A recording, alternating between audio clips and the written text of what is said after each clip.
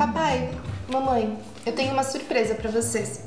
É? Eu vou trazer o meu namorado pra passar o dia todinho hoje aqui em casa, o Nando. Hum, que orgulho, filha. E ele é tão gostoso como o Pedrinho?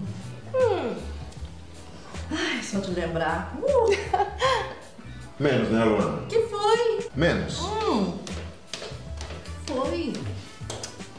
Pronto, já limpei o quarto de vocês. Bem que vocês podiam começar a transar num hotel, né? Assim dava menos trabalho. Valdir, eu vou dar na cara dessa vadia. Tá me olhando desse jeito por quê? Hum? A Sueli é nosso anjo da guarda.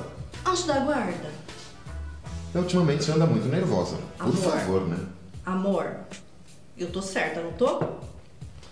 Eu sempre tô certa. Não é? Então, agora eu vou limpar o quarto da Paloma aqui, que tá mais pro chiqueiro, né? Do que pro quarto, mas tudo bem.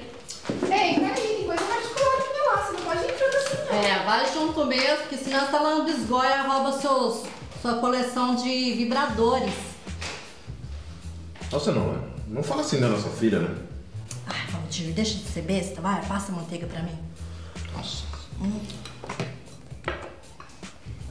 Pega um pãozinho. Mas você é fordada mesmo, né? Amor. Passa pra mim.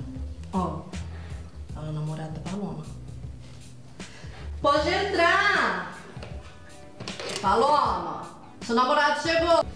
Amor, passa pra mim. Oh, e aí, coroa? Nossa, tudo bem? Tudo você?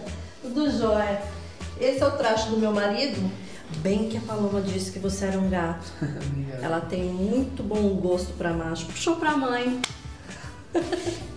Ó, ele vai entrar numa videoconferência agora. Eu vou te mostrar a casa. Tá bom. Vamos lá? Tá, por aqui mesmo? Pode, pode ir que eu te sigo.